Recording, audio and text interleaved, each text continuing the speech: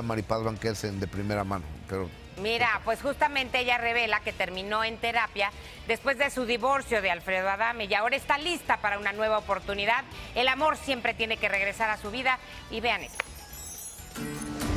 La que ya está lista para encontrar el amor es Maripaz Banquels, la ex de Alfredo Adame, pues confesó a Sale el Sol que está dispuesta a darse una nueva oportunidad. Claro, claro, yo creo que en, el momento en que te empiezas a reencontrar a ti misma, en el momento en que ya tu autoestima ya subió, en el momento en que ya tienes otra vez la seguridad en ti misma y la fe de, lo, de quién eres, de cómo eres y de cómo te has llevado en tu vida, creo que ya eh, tienes el momento listo. Las cosas se van dando poco a poco.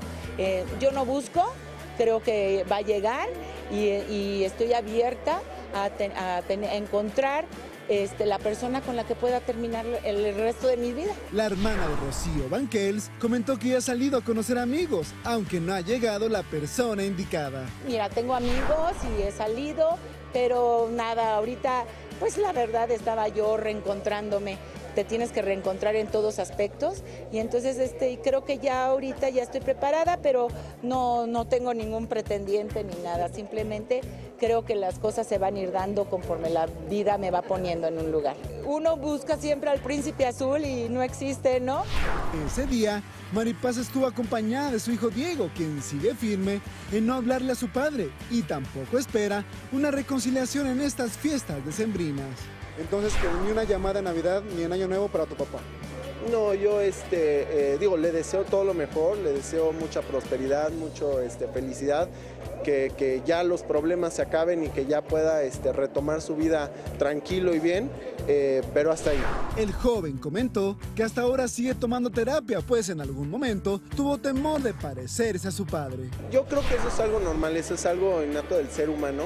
Este, creces con un ejemplo, creces con una, una eh, pues sí, con, con una persona eh, o, o con personas a tu alrededor cercanas de las que empiezas como niño a adoptar ciertas, este, ciertas este, patrones, ciertas conductas, ciertas incluso palabras.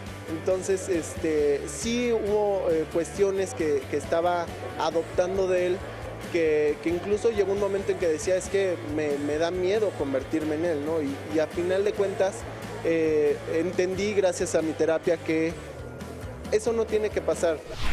Soy Omar Argueta, sigue en Sale el Sol. Pues yo, yo te quiero decir algo. eh, yo en Maripaz, el día de ayer que platiqué con ella, encontré una señora, una dama, que no, no quiere entrar en dimes y diretes, en más problemas. Sabe que cualquier cosa que diga, por mínima que sea, va a crear un problema. Y este, pero me sorprende mucho las declaraciones de este joven de que tuvo que ir a terapia porque pensó que se iba a convertir en su papá. Sí, que dijo, tenía temor a convertirme co- en cosas que él, o sea, ser parecido a él. Y pues eso tendría que revisar Alfredo, pero también dice que su hijo le faltó al respeto y eso no lo va a permitir y no se van a hablar mientras no se pongan de acuerdo. Sale el sol, lunes a viernes de 8 a 12 del día. Participa en Imagen Televisión.